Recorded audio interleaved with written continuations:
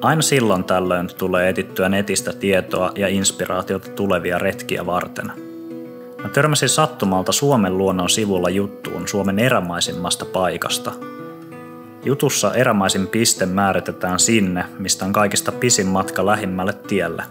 Laskennassa on huomioitu myös mönkiä ja moottorikelkkareitit.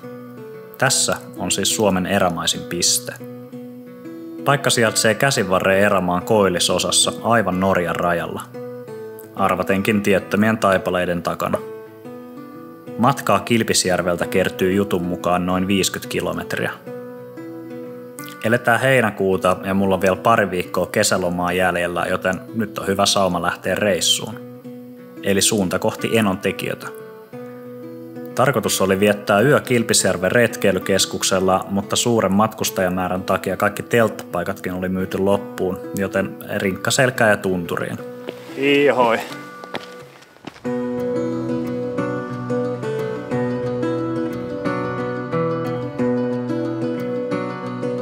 Koska mulla ei ollut reitin haastavuudesta ihan tarkkaa tietoa ja mukana kulkee kalavehkeet, niin mä olin varannut hyvin aikaa tälle vaellukselle.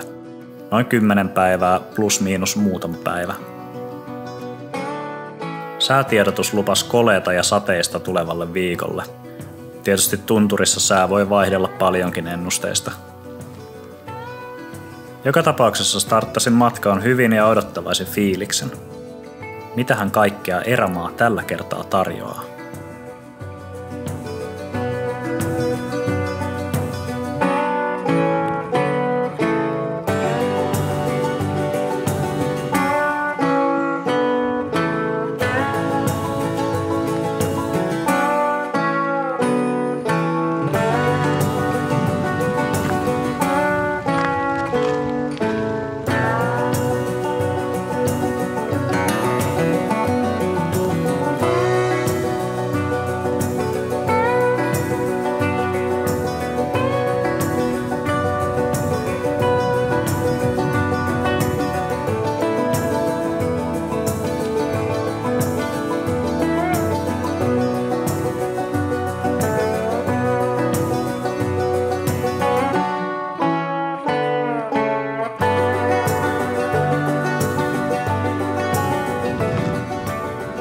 Ei älyttömästi maisemia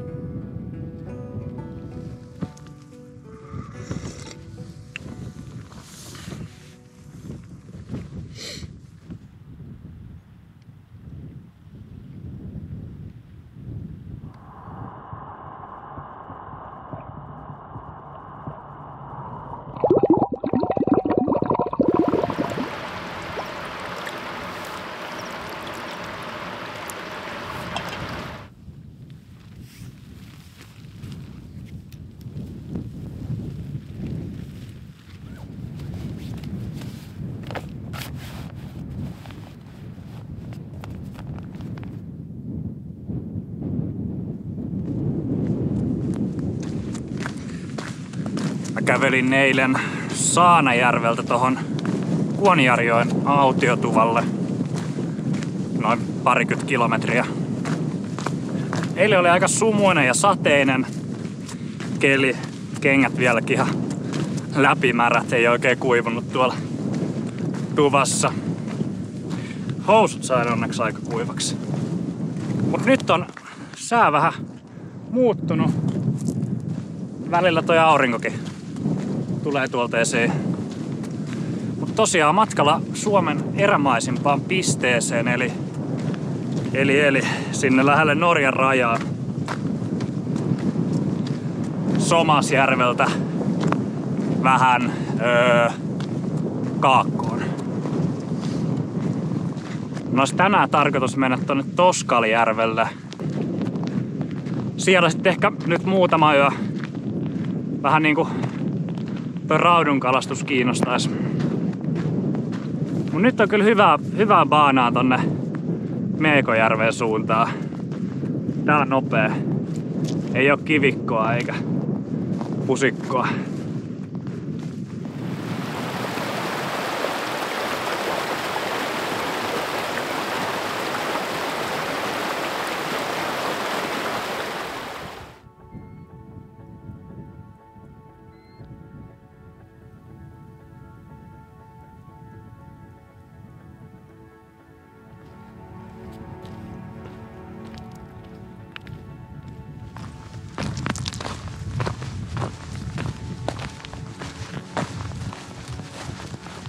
Niin, nyt jäi kalottireitti taakse ja suunta kohti suurta tuntematonta.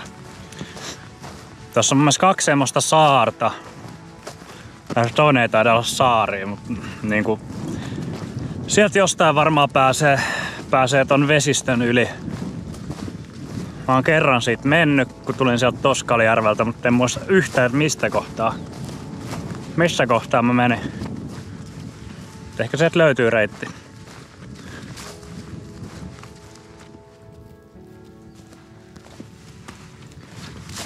Mutta kyllä tosi hyvää kävelymaastoa, tosi tasasta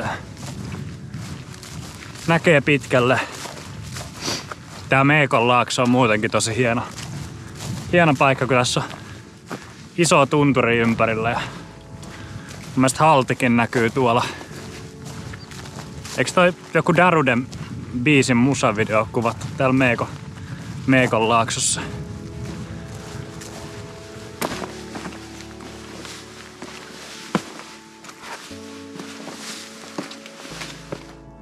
Joskus sanoin, että, oli, että onpa tasasta ja hyvää, hyvää pohjaa, niin sitten tavoittaa tämmönen rakkakivimeri tähän. Jaa, jaa. Se mennä varovasti.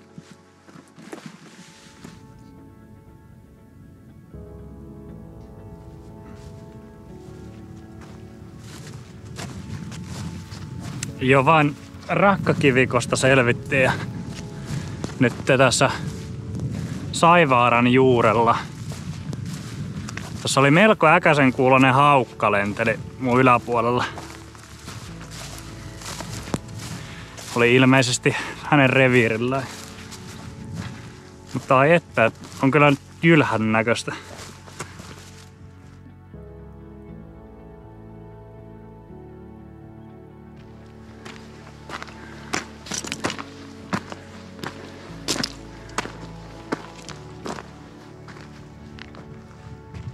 Siitä pääsi Saivaaralle.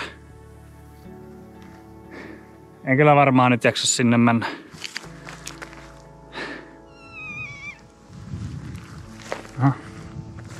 Haukka tuli takas.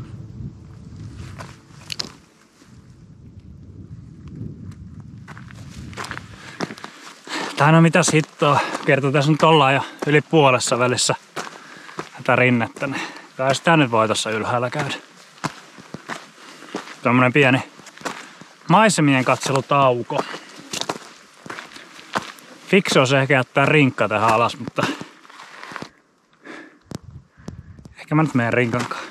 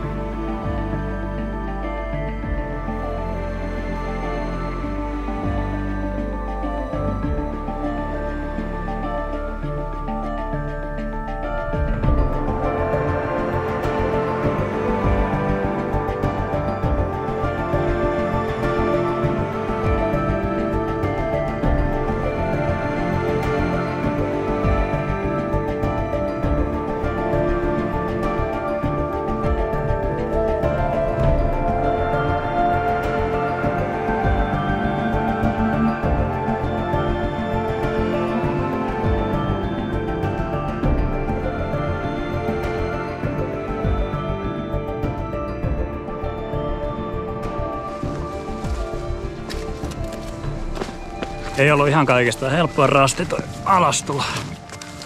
Se oli aikamoista kivikkoa ja aika jyrkkää, niin se oli vähän niinku, olisi tehnyt yhden jalan askelkyykkyjä siinä koko aika rinkan kanssa.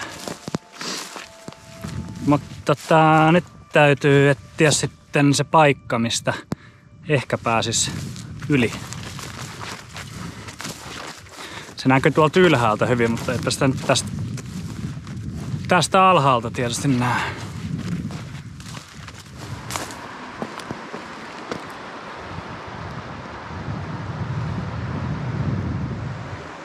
Jaa.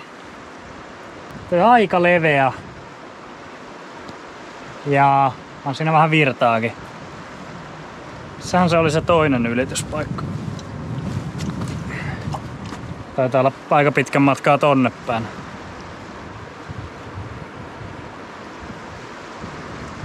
Täytyypä hetki miettiä.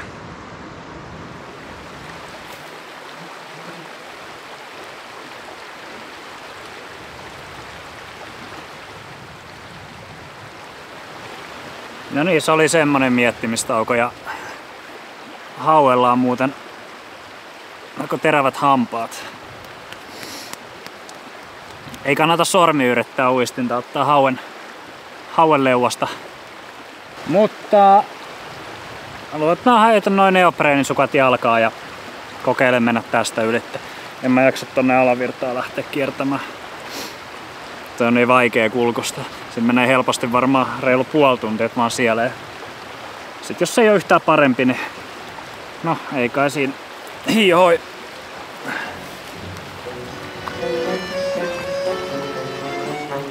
Joo,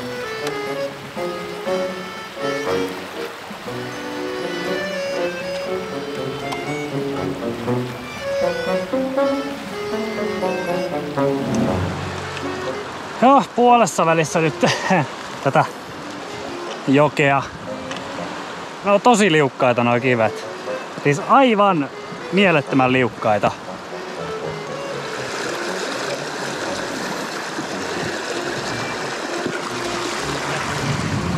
Nyt tuli vähän tenkkapoo, tommonen tosi syvä kohta. Tossa on varmaan vyötäröön asti vettä. Äh.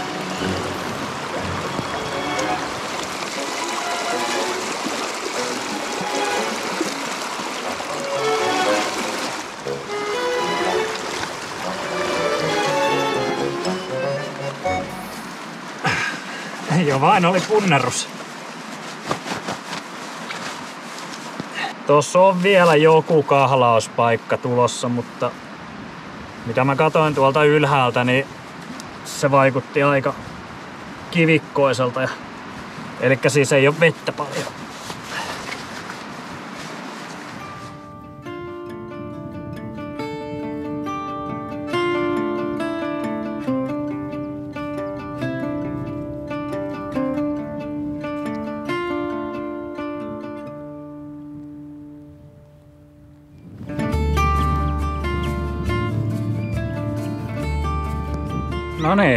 Siinä nyt tois Toskalijärvi ja äh, olihan tänne vähän kiipeämistä.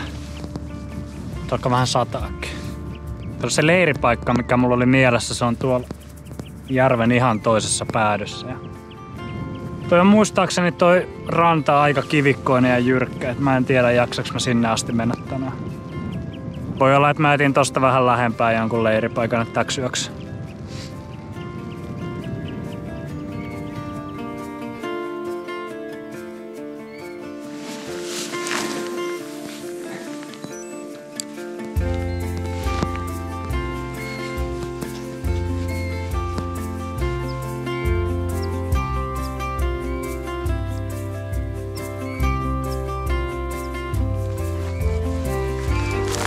nyt kuitenkin lähteä kävelemään tonne järven toiseen päähän. Täällä on sen verran paljon itikkaa, että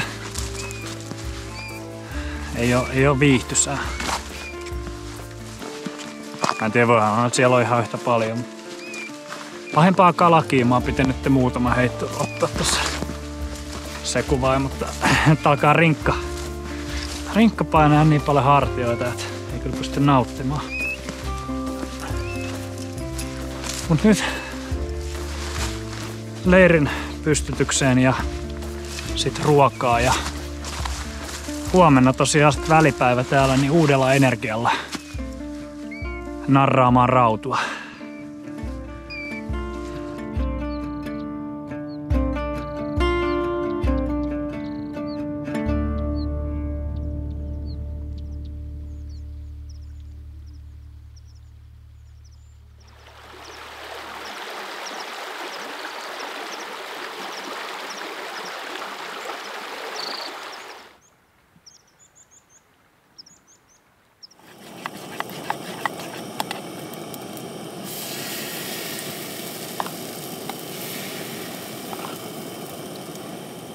Koska aamu valkeni nyt aika harmaana, niin ajattelin vähän piristää mieltä ja paistaa pannokakkoja aamupalaksi.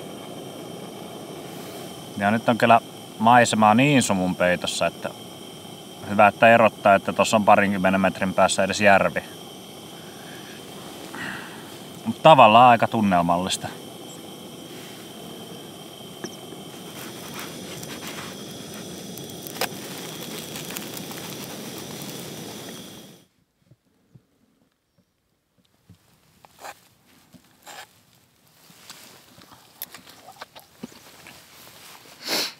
Mm-mm-mm.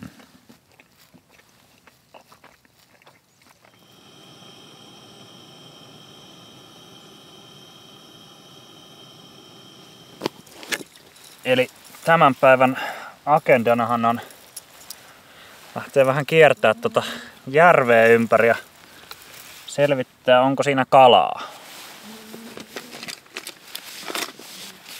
Kuulemma pitäisi olla hyvä Rautujärvi. Alkaa toi sumukin vähän hälvetä. Tunturit on vielä tota, pilvenpeitossa, mutta järvi näkyy jo.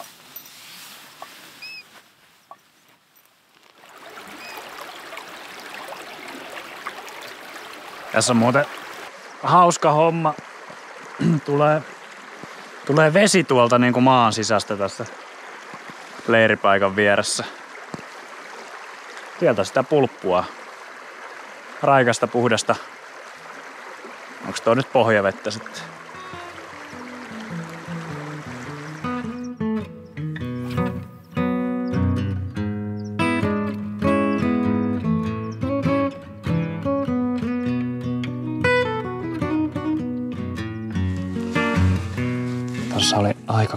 Rautuseura suistinta.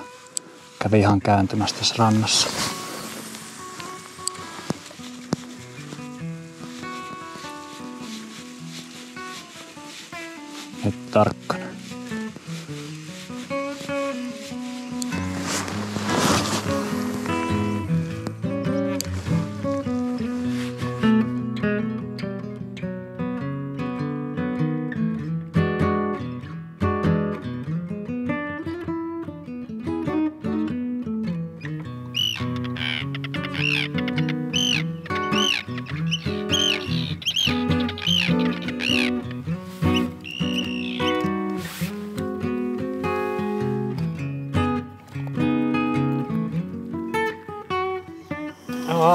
Ja lounastauko.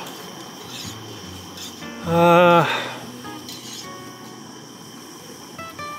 Ei ole tullut kala.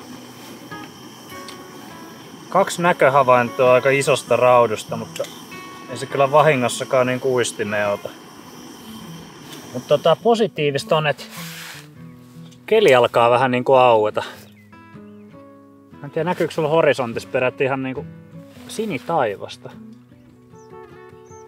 En myöskään panis pahitteeksi, jos sää vähän lämpenisi. Täällä on nimittäin...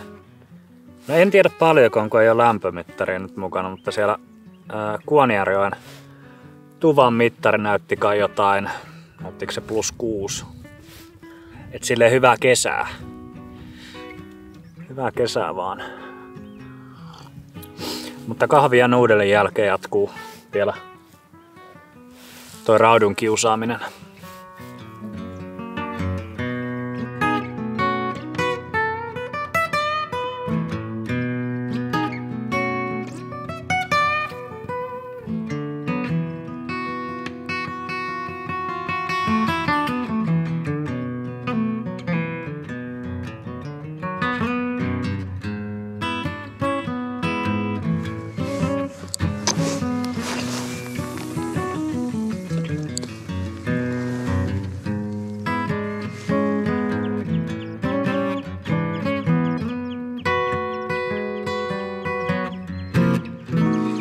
Tiski, hyvä rautu.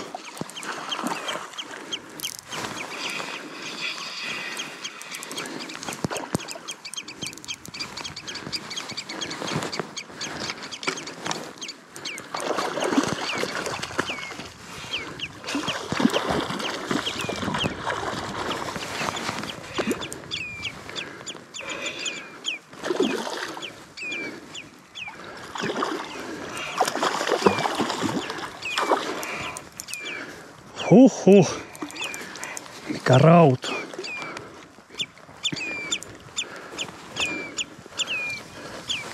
Ja siellä, siellä on rautu. Oi, en pidellä tätä. What? What?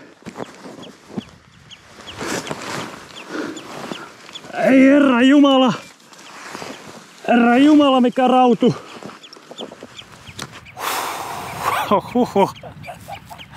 Nyt on, nyt on. Oi, oi, oi, oi. Siis voiko olla näin hienoa kalaa olemassa? Ei voi. Mä ajattelin, että tää on nyt viimeinen paikka. Tässä lähtee toi jokivirta nimittäin alaspäin. Tästä ei edes pidemmälle pääse. Muutama heitto tästä vielä ja sitten teltalle päin. Ja heitin. Pam. A. Se on varmaan kivessä. Ei uisti liiku mihinkään. Sitten se lähtee vetämään ja otti muuten tommoseen beettelottoon. Musta, kuparinen toi lippa ja tämmösiä neonpunaisia pilkkuja.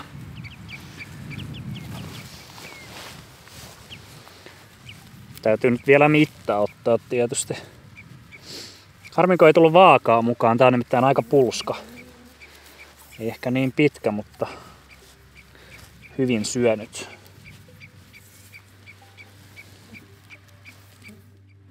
Viisikymmentäkaksi senttiä. Huhhuh. Aikamoinen.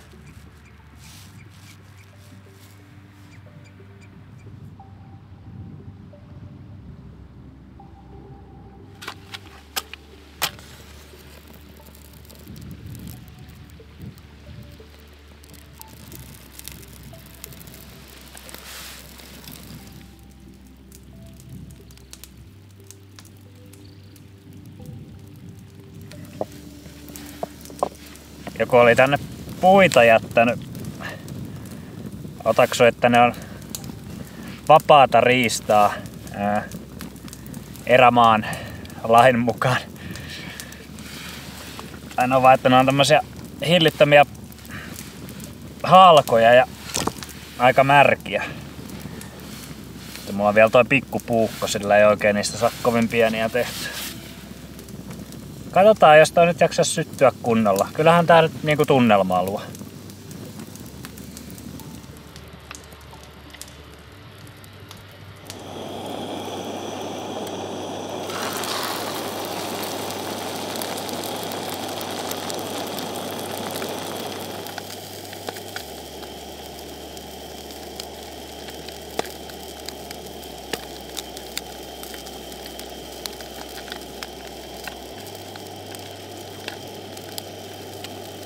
Tässähän ihan liikuttuu. Rautahan on siitä hyvä kala, että sillä ei niinku suomuja varsinaisesti ole. Pelkkä nahka, niin Mä oon hyvä hyvin nahkoon epäyinen ja se onkin hyvä se nahka, kun sen paistaa.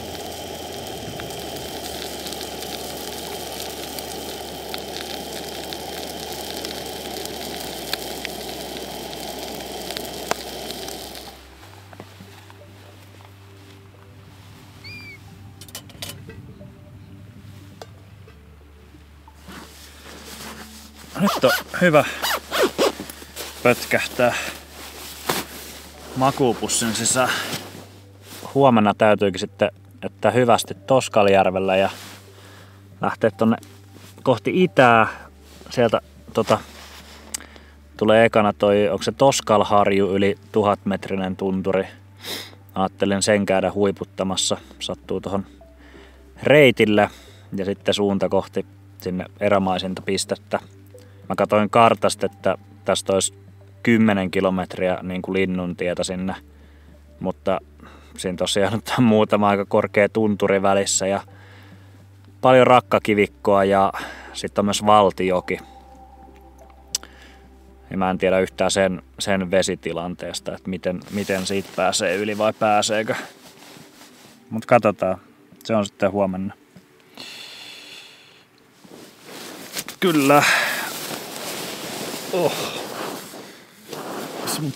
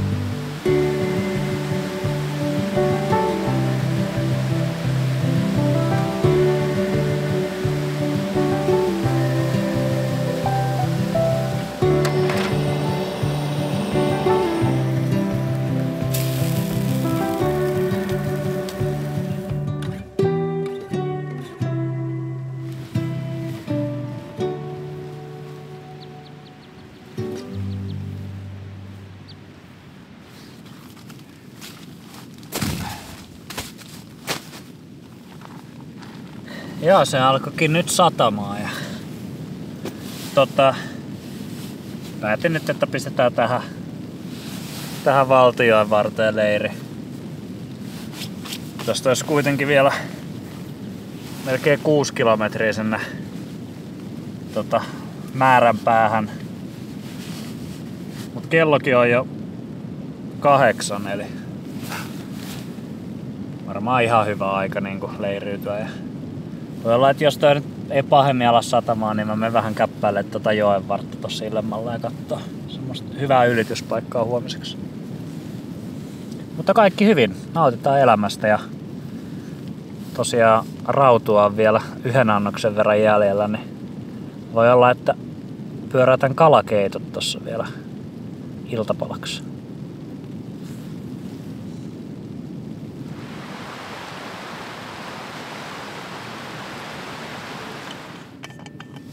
Se oli 2013 heinäkuussa, eli tasan kymmenen vuotta sitten, kun pakkasin rinkaan, hyppäsin Helsingissä bussiin.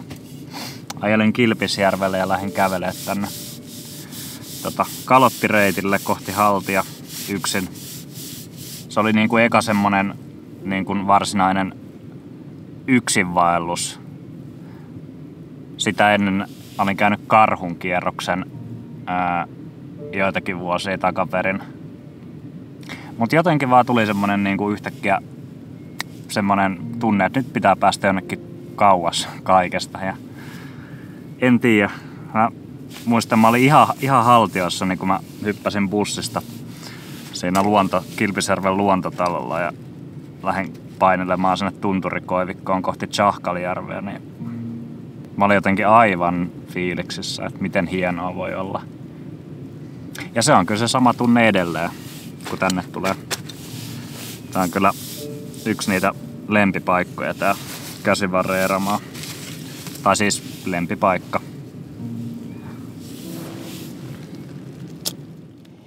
Silloin ei vielä niin kuin ihan hirveästi semmoista vaelluskokemusta ollut. Retkeily tai niin kuin luonnossa liikkuminen oli tuttua jollakin tavalla, mutta aika silleen pystymetsästä ja varusteet silloin oli, olisi voinut olla ehkä paremmat. Mulla oli ihan hyvä teltta.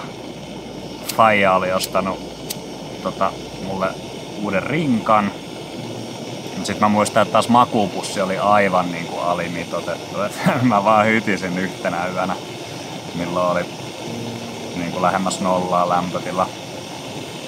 Ihan haltille asti mä en päässyt, kun mä vähän harhailin siellä täällä, kun piti käydä vähän tunturihuippuja katsomassa ja niin kuin valokuvata. Ja mä kävin Pitsusjärvellä, siitä lähden sitten takaisin. Kävelin Lossujärvellä, en halunnut mennä samaan reittiin takaisin.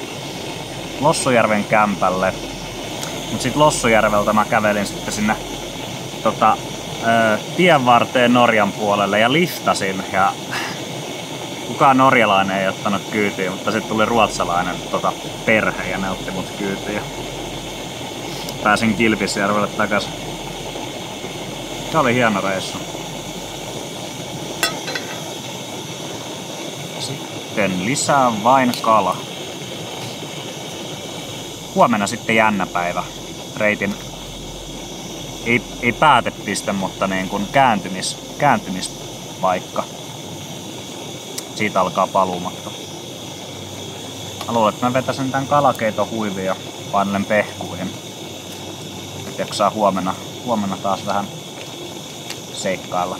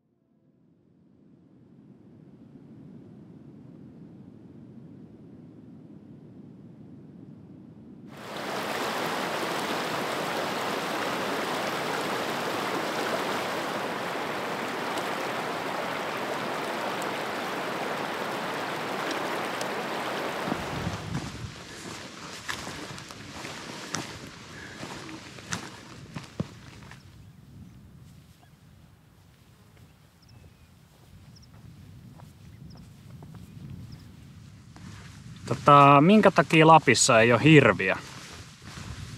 No ne palo kaikki poroiksi. Kuulin tämän mun työkaverilta. Aamu oli vähän harmaa ja sateinen, mutta nyt näkyy taas vähän niin kuin sinistä taivasta tuolta pilvien välistä. Nyt mä kävelen tällaista tota, hiekkaharjua pitkin jonkin matkaa ennen kuin lähden nousee tonne tuntureitten yli. Tuossa oli muuten jännä tilanne tuossa tota joen ylityksessä. Mä jotain siinä säädin niin kuin ihan keskellä jokea ja pudotin tämän vaellussauvan ja tämähän on niin kevyt, että se lähti sen virran mukaan. Älä lähde.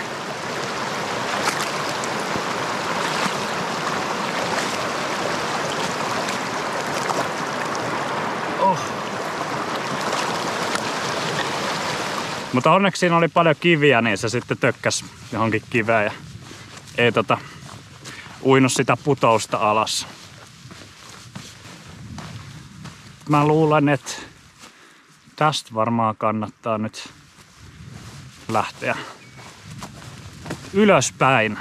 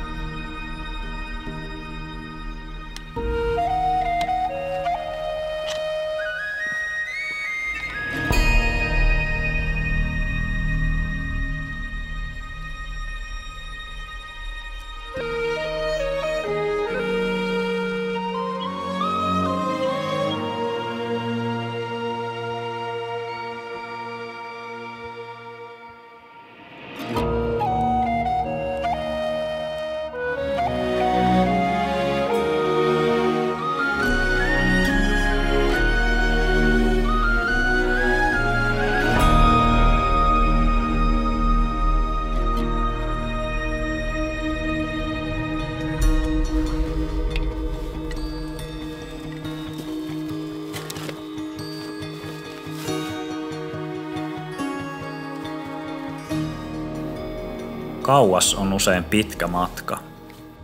Ja erämaisin piste on arvatenkin melko kaukana kaikesta.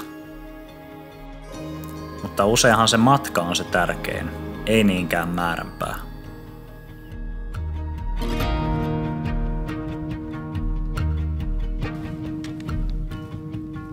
No niin, täällä ollaan. Manner-Suomen erämaisen piste. Tää on kyllä suurin piirtein keskellä ei mitään. Mutta kuka sen määrittelee, missä on tai ei ole mitään? Täältä keskeltä ei mitään löytyy kuitenkin jotakin, mikä tekee ihmisen onnelliseksi. Maisema, jonka katselemiseen ei kyllästy. Tunturipuroissa virtaa raikasta juomavettä ja järvistä saa taatusti tuoretta lähiruokaa. Yön tulle vaivaiskoivupeite patjana ja taivas kattona.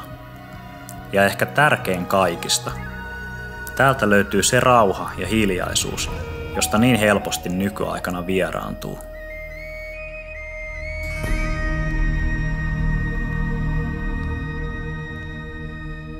No joo, toi oli ehkä vähän juustosta jo, mutta en mä tiedä, semmoista erämaan romantiikkaa pitää olla kyllä siitä nyt varmaan osa on ihan niin kuin tottakin liiottelematta.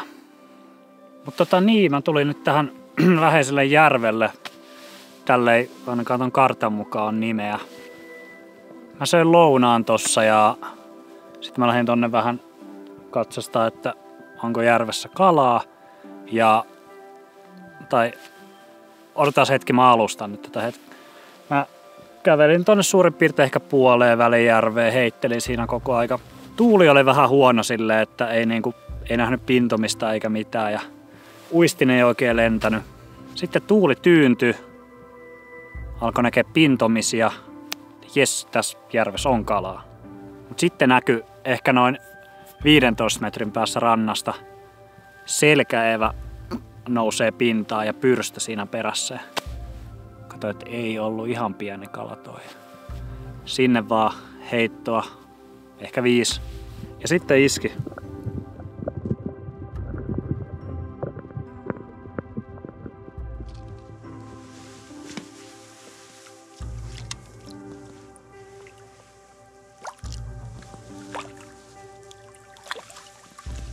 Yes. 55 senttiä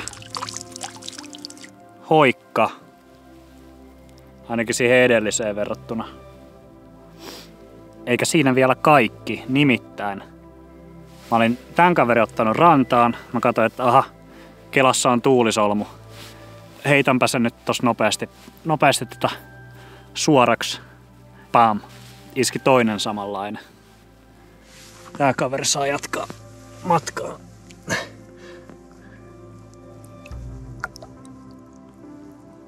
Mutta joo, ei sitä voi ahneeksi ruveta, että tästä riittää taas ruokaa täksi ja huomiseksi päiväksi hyvin. Mutta joo, järvi keskellä ei mitään tarjoilee hyvän kokoista rautua selvästi.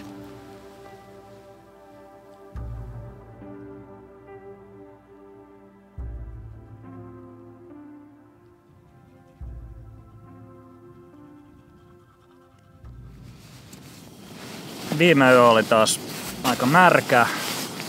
Semmoista niin kuin tosi paksua sumua tai tihkuu. Kasteli aika tehokkaasti tässä about kaikki. Tietysti on, onhan mulla tavarat näissä kuivapusseissa. Silti oli semmonen tosi kostea. Ja sitten tänään heräsin tommoseen kivaan auringonpaisteeseen. Nyt tuolla on tämmöistä pilvipoutaa. Ihan kevyt tuuli väittäisin, että ihan miellyttävä tommonen niin kuin patikointisää.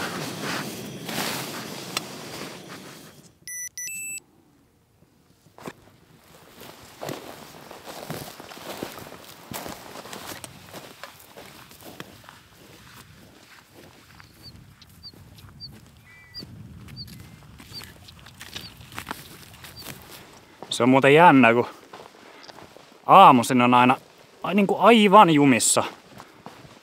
Polvet turvoksissa ja selkä ihan vääränä ja niin kuin teltasta ulos kömpimenenkin on niin kuin semmonen hillitön suoritus.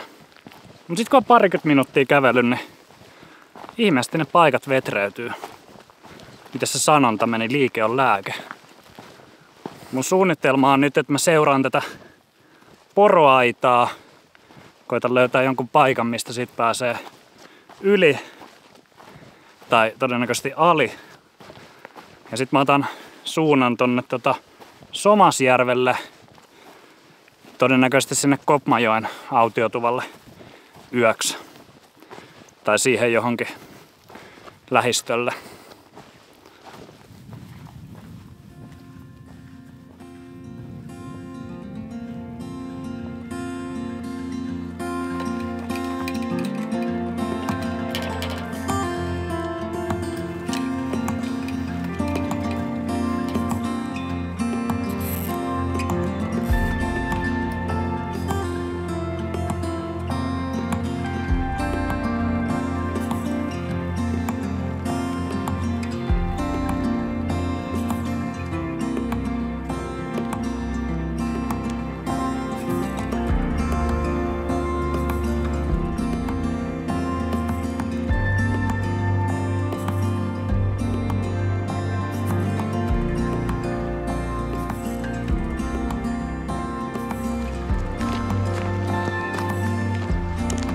No nyt taas täällä harjun päällä. Tässä valtion varressa. Tuli aika jyrkkää kuruu tuolta alas. Katsoin, että siinä on sadan metrin päässä ollut semmonen tosi loiva harjanne. Tuo olisi tullut suoraan tähän harju. No, nyt on hyvää highwayta. Täältä on myös hyvä katsoa noita mahdollisia joenilytyspaikkoja. Näyttää kyllä ainakin tässä kohtaa vielä aika vuolalta.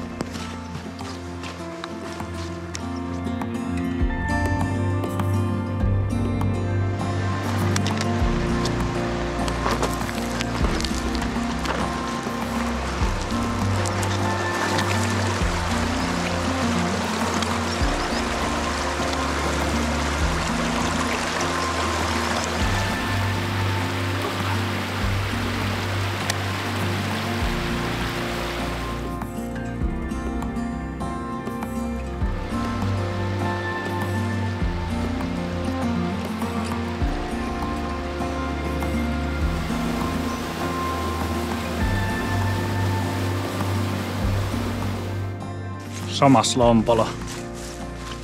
On kyllä nätti. Vähän tekis mieli pitää pieni kalastustauko tässä, mutta on haltilta päin tulossa aika tumman näköistä pilveä. En tiedä, ehkä olisi hyvä sinne Kopmajoelle päästä, jos alkaa vaikka kunnon myräkkä. Mutta ehkä, ehkä ihan muutama heittää.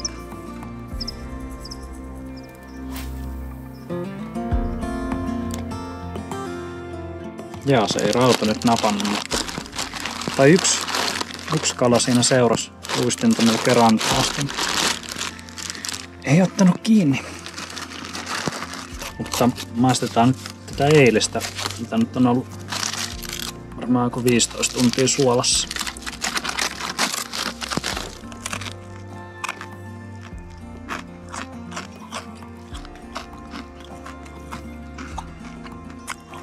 Tässä on kyllä hienostunut lohikalan maku.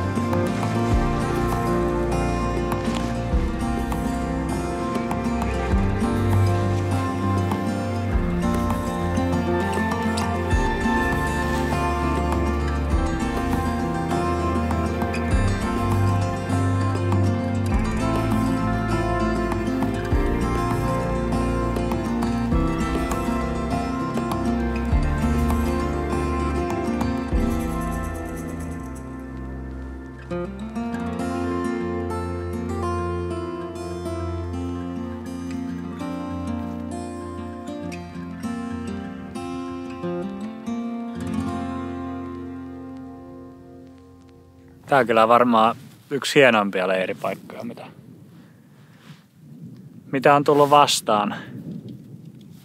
Mä käväsin siinä Kopmajoen kämpällä ja siellä oli tota, Tuomas tullut tota, pyörällä.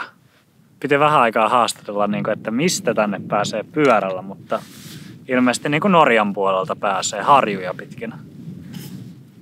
Sunnuntai-iltana Peerasta ja ajoin sieltä Patsastuukanin kautta Kappohyttä ja sieltä jatkoin Signaldalenin laakso alas. Kävin tota Hattengissa kaupassa ja syömässä. Siitä Kittaalenia ylös, ylös tuota, niin siellä on se lavkarihtet maastopyöräilyreitti, niin sitä ylös tunturin taas ja tuota, Lavkajärvellä oli yötä ja sieltä lähdin, laskettelin skibotteniin ja, ja jatkoin sieltä sitten tuota Vuonorantaa tuohon Kofjurdaalle, niin sieltä lähdin tänä aamuna, tulin tähän näin just viisi minuuttia ennen kuin siellä tuli tänne. Ja tuonne. Mulla on tota kolmeksi päivää vielä evästä ja aikaa lomaa, niin tuota, tästä pitäisi lähteä tuonne etelään pitkin valtioiden harjuja ja poroharjuja ja Raittijärven kautta tuonne tuota, niin Kilpisjärven tielle alas. Oikein hyvä reissu. Kiitos. Tuosta järvestä näkee selkeästi, että tulva-aikaan sen pinta on varmaan olisiko kaksi metriä ainakin korkeammalla mitä normaalisti. Tuossa hiekassa näkee noita kerroksia, että missä vesi on ollut ja mihin se on nyt laskenut.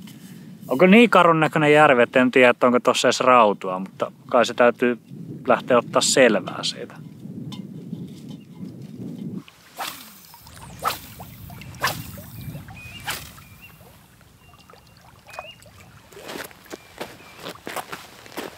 Tuli paha iltalenkki. Kaunis järvi, mutta kalaton.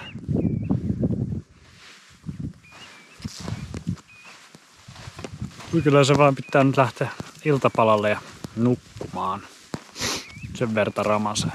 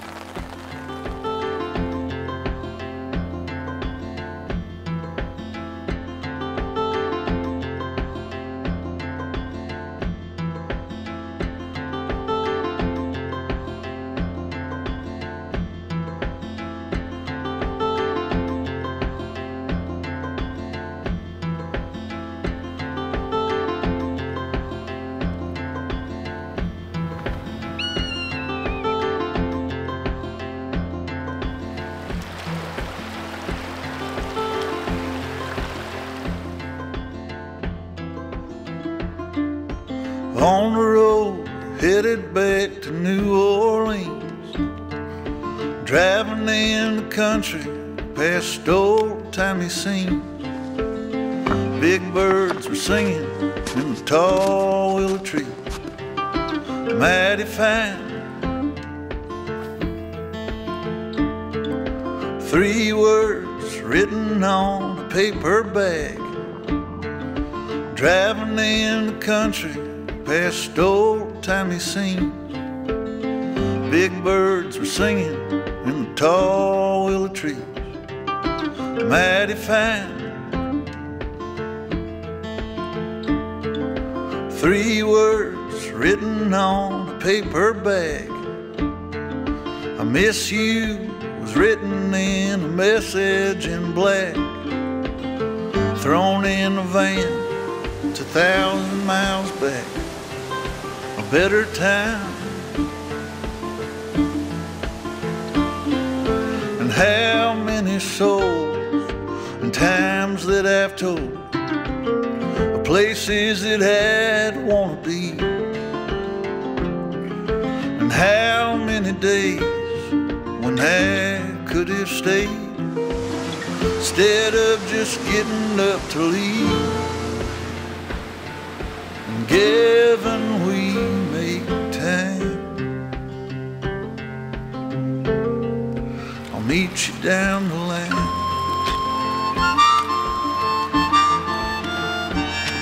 Hmm.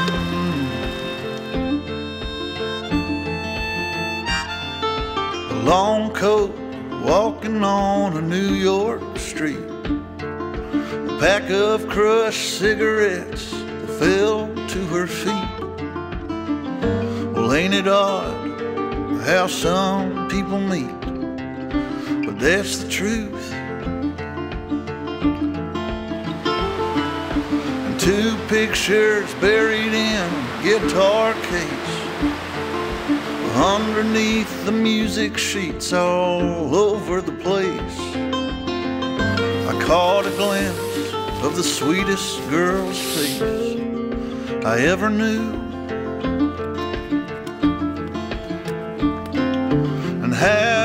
Souls and times that I've told of places that had like to be. And how many days when I could have stayed instead of just getting up to leave. And given we make time, I'll meet you down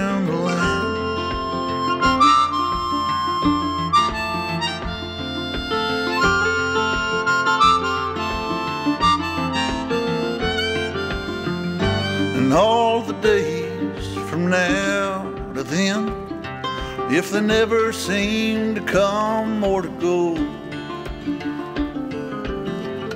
find me in your memories that keep you from getting so low. And given we make time. I'll meet you down the line. Sainkin hyvää matkaseuraa nyt tota, vielä tässä loppuvaellukseksi. Otto ja Kaisa oli käymässä haltilla ja saatiin aikataulut sopimaan. Laitettiin aina viestiä, tekstaria, kun oli kenttää jossain. Tavattiin tuossa Meekojärvellä. Taisi olla puolelta kun mä siihen saavuin tuolta kävelen sieltä Kopmajolta asti. Oli aika rankka päivä. Aluksi oli tarkoitus, että oltaisiin kävelletty tuota kalottireittiä Saarijärven kautta. Mutta sitten mä heitin tuossa matkalla, tota, että mitäs jos tultaisiin vielä Termisjärven kautta ja tänne tultiin nyt viimeiseksi yöksi. Onhan tää kyllä hieno, hieno paikka tää Termisjärven laakso. Lyhyt yhteenveto tästä reissusta. Aivan ei voi taas sanoilla niin kuin kuvailla, miten mahtavia elämyksiä kaikin puolin. Käsivarreeramaa ei petä.